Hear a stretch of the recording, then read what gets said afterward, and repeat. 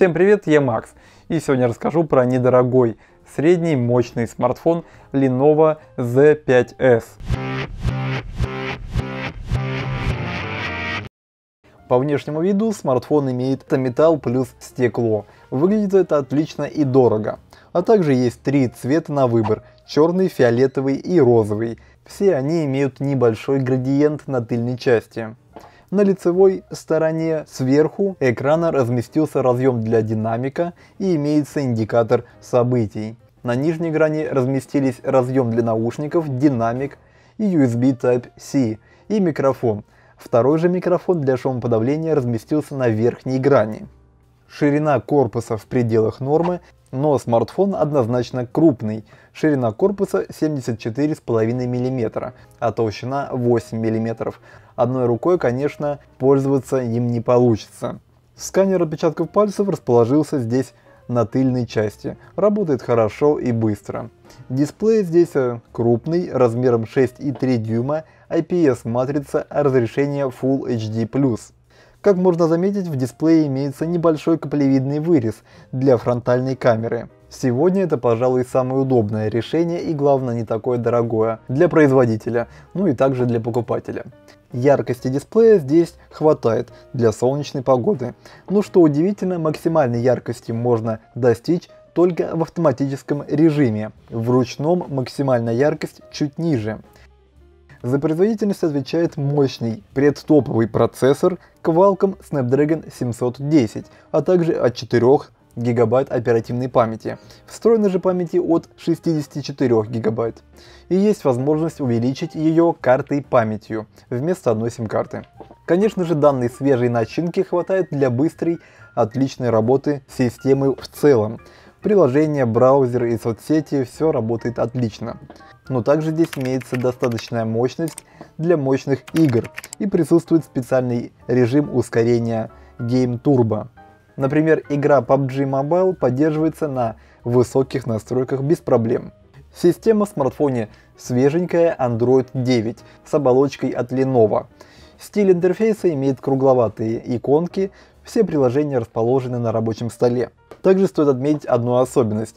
Есть обычная навигационная панель внизу экрана, а есть U-Touch, которая скрывает иконки и вы управляете теми же действиями, только необходимо будет тянуть э, снизу экрана, чтобы, например, вернуться назад, и потянуть экран с любого бока, чтобы вызвать меню многозадачности. К этому можно быстро привыкнуть, и это, возможно, вам понравится. Камеры в смартфонах целых три штуки. На 16 плюс 8 плюс 5 мегапикселей, а фронтальная камера на 16 мегапикселей одна штука. Как и говорил выше, основная камера имеет три сенсора. Один из них на 16 мегапикселей с диафрагмой f1.8, два других с диафрагмой f2.4 и второй сенсор на 8 мегапикселей для двухкратного оптического увеличения – а третий модуль на 5 мегапикселей для глубины резкости, то есть размытия заднего фона, с чем справляется смартфон хорошо. В целом фотографии, особенно в дневное время суток, отличные для данной стоимости.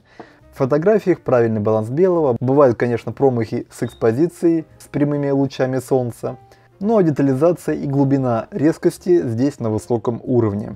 При плохом освещении фотографии также довольно хорошие. Конечно, присутствуют небольшие шумы и размытия, совсем в ночное время, но картинка выглядит живо и с правильной экспозицией. По видеосъемке тут имеется поддержка до 4К и есть Full HD. Стабилизация имеется, но незначительная и хуже, чем у конкурента Xiaomi. Но при этом видео не размываются и довольно четкое, даже при быстром движении. За автономность отвечает аккумулятор на 3300 мАh. Имеется быстрая зарядка, которая заряжает полностью смартфон за 1 час 40 минут. Что касается тестов, то если смотреть видео беспрерывно, то смартфона хватит на 12 часов. При повседневном использовании смартфона хватает на полтора дня, может и до двух дней дожить, но это если чуть-чуть экономить. Также смартфон имеет поддержку всех нужных частот для России в 4G. Есть и широкая поддержка навигации GLONASS и Beidou. Связь здесь стабильная, хорошая. Ну и перейдем к итогам. Из минусов я лично ничего не могу сюда внести, так как его начинка полностью соответствует стоимости. И даже смартфон должен был бы стоить чуть дороже. Из плюсов можно отметить его процессор и конечно его стоимость. Внешний вид отличный, а также поддержка карт памяти. Имеется поддержка таких обычных вещей, как FM радио и разъем для наушников и гироскоп. Данный смартфон сегодня, пожалуй, является одним из самых дешевых устройств на данном процессоре, а также он очень сбалансирован. И если вы планируете покупать его и вам необходим русский язык системы, необходимо написать об этом продавцу в комментариях при покупке. Смартфон сегодня стоит от 230 долларов за версию на 64 гигабайта встроенной памяти. Есть версии на 128 гигабайт, но она слишком дорога. 350 долларов. Если понизится на нее стоимость до 270, то это будет стоить того. Ну а все ссылки на данный смартфон внизу в описании под этим видео. Ну а на этом все, спасибо за просмотр. Если понравилось видео, нажимайте лайк и подписывайтесь на канал. И не пропускайте другие видео на нашем канале. Новости, топы и обзоры. Ну и удачи всем, и пока, и покупайте только актуальные и нужные вам смартфоны.